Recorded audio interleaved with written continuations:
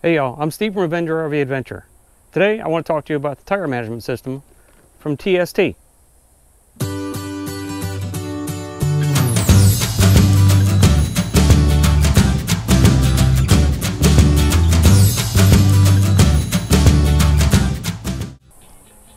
Alright folks, so welcome back. So I ordered from Techno RV the TST tire management system for my RV. This particular kit comes with four sensors. It has a color mount monitor. And the nice thing about this is that uh, this system does have a battery. So you can charge it and use it with it not being plugged in.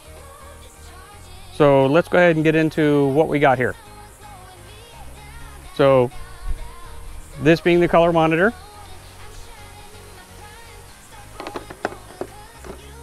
There's four sensors. And I'm going to try not to drop everything.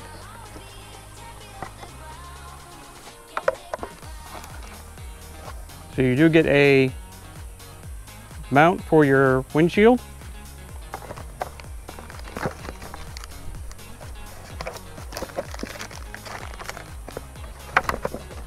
Do you get a mount for your dash.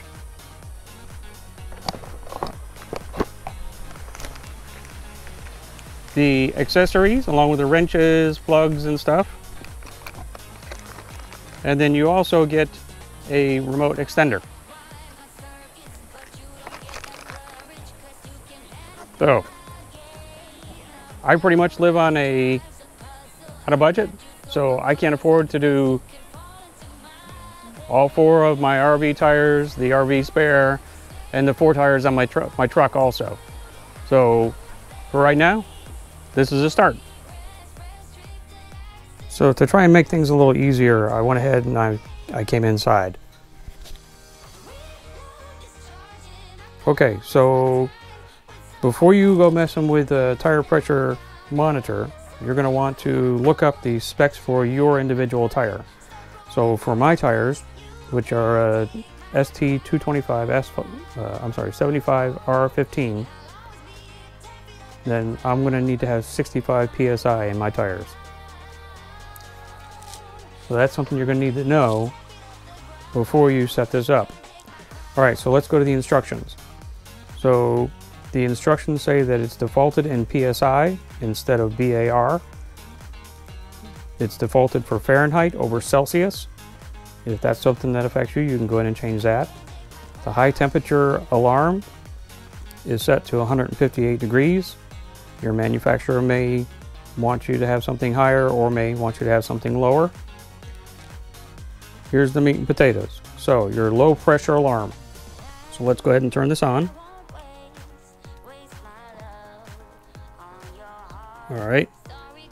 To set the low pressure alarm, press and hold the set button until it beeps.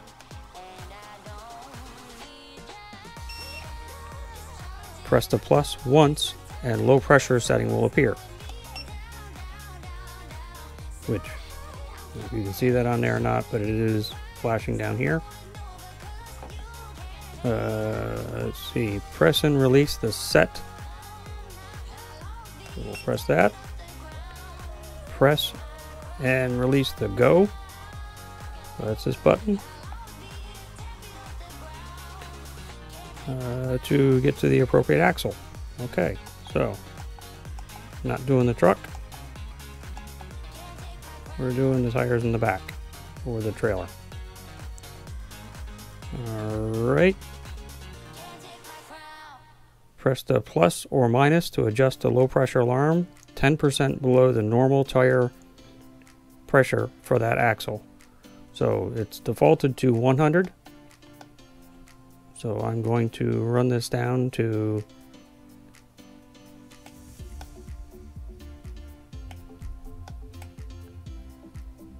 Fifty-nine degrees or fifty-nine psi. Um, all right. So that should be it. Okay, our next step is to set the high pressure setting. So we're going to press the set button until it beeps. Okay, and it already says high pressure on here. So then we're going to press the set button again. And we're going to press the go button until we get to the right axles.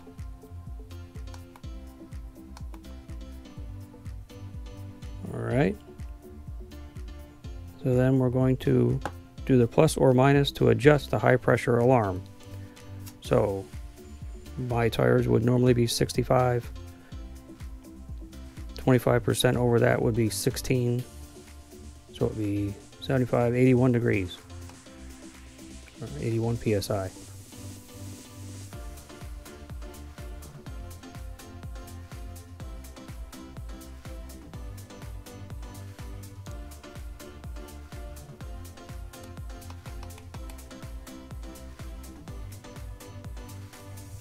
Okay, we're going to press the set button again to save that.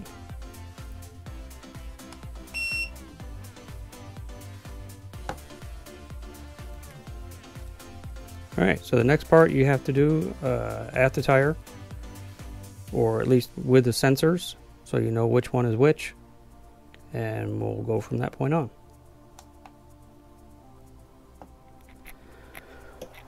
Okay, our next step is going to be to set up each of the individual sensors so that it reads on here. So we're going to go ahead and push the set and hold it. We're going to push the plus sign until we see Learn ID, which is here. Press set. Now you have to set which tire you're going to be setting up for each individual sensor. So you might be able to see that it's flashing here. I'm going to change that.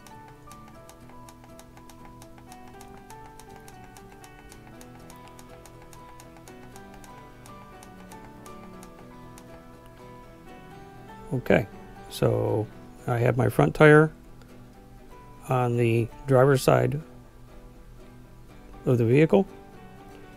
I'm going to go ahead and I'm going to push set again. It's going to go into a learning mode. I have the sensor here.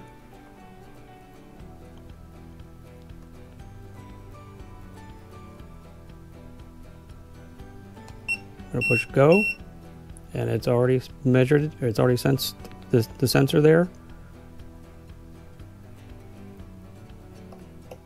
I'm going to push set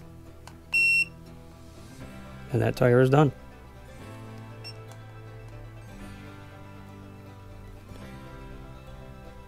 You're going to push go.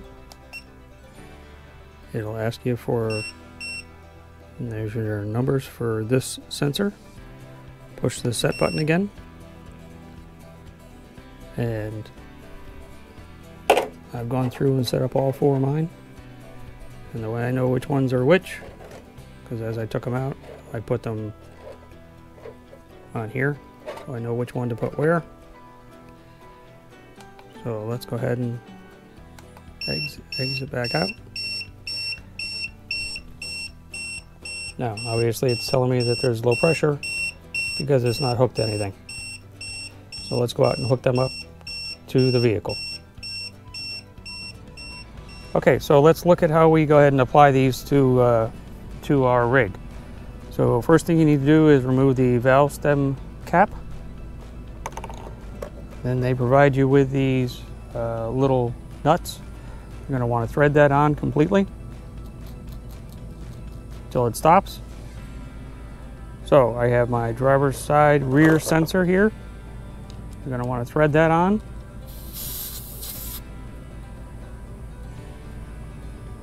Till it stops and then you're going to back that nut back up to it till you can't do it with your finger anymore. Then you're going to use the wrench and you're going to tighten it on there just like that.